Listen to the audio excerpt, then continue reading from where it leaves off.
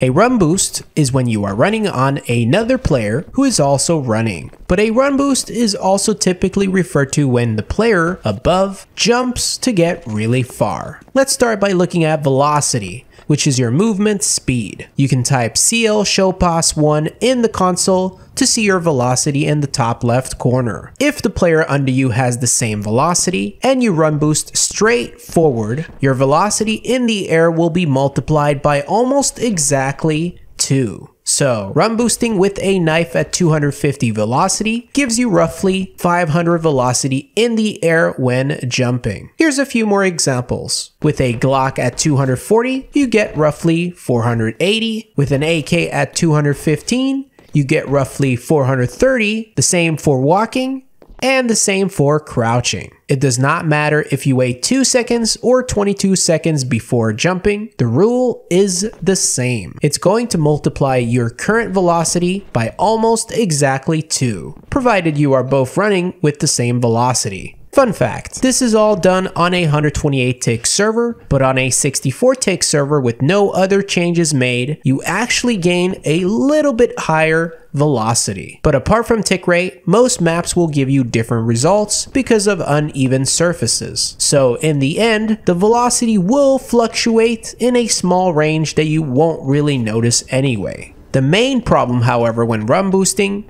is going up.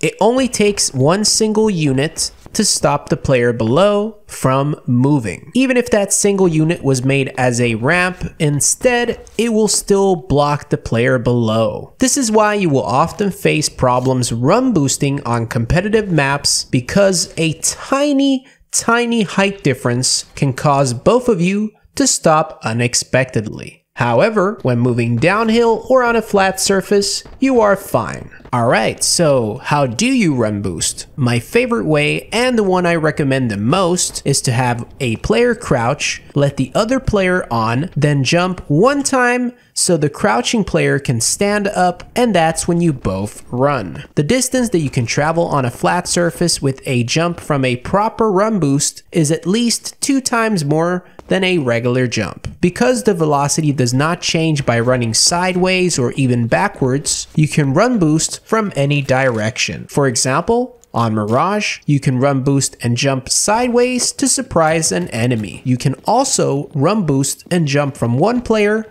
to another. However, you might be wondering, what happens if you try to run boost with more than two players?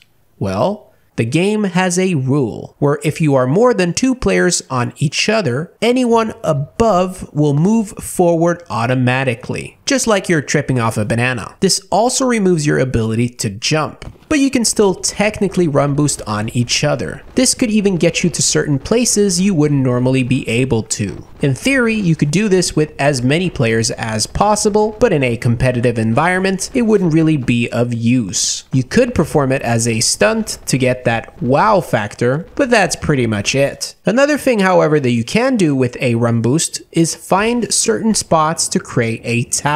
This works because you're in front of something that blocks you from moving moving forward. Since I'm aiming towards the wall, I am no longer moving, which gives me full control over my accuracy and a pretty interesting angle. If I look away, then I will run off the tower because of the forward rule. Here's another example of a tower. This one works because I am blocked by an invisible wall, stopping me from moving forward. All these towers require a lot of teamwork, coordination, and practice, and for some of these plays, it's high risk, high reward. Run boosting isn't something you should be doing all the time during competitive matches, but sometimes it may come in handy. If you would like to practice or have some fun with run boosting, I've made a run boost course that you can subscribe to on the Steam Workshop and play with a friend. A link for that will be in the video description. I hope this video helped. Please leave a like if you enjoyed it, subscribe if you want to see more CSGO content, and I'll see you guys soon. Stay awesome and go bananas.